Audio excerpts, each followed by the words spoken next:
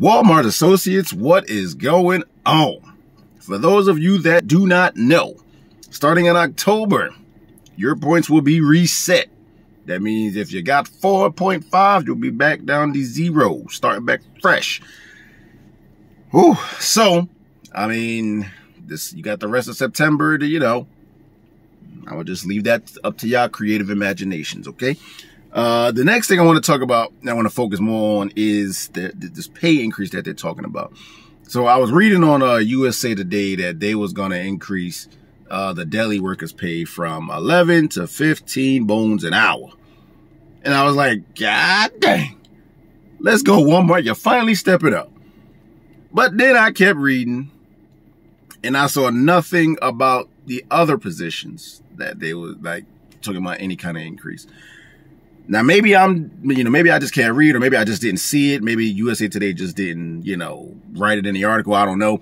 But as far as I know, the only people that's getting increases is deli workers, and of course, like all the team leads and, and all them other people. But I'm starting to think, I'm like, wait, hold on. What about the stockers? What about the maintenance people? What about people who, you know, the, the customer service people? Like, shouldn't they get something? I mean, if not 15, 13, 13, 50. I mean, I don't know, something. Like, how are you going to increase the deli? Not saying that the deli don't do nothing, because, you know, I've never worked in a deli, so I'm not going to, you know, talk trash about the deli. I'm just saying, if you're going to increase one, the least you can do is increase the other. Don't tell me you can't do it. I don't want to hear it. Oh, man, well, we got to do it. Now, there's no excuse. You can raise one, you can raise all. You guys got plenty of money to do so. You know, I'm pretty sure most stores make plenty enough money to make sure that their workers get a, a, decent, uh, uh, you know what I'm trying to say, a decent pay. So the fact that, you know, Walmart is willing to increase just the delis and not the other workers, like I said, like the, I think even the, uh, the dog greeters are getting an increase from 11 to 1250. I'm like, huh? Like what? Like why is that? Why is that everything is just going around the uh the stockers and the maintenance people and you know any other position that I'm you know not mentioning. I don't understand that. Their pay stays the same when everybody else go up.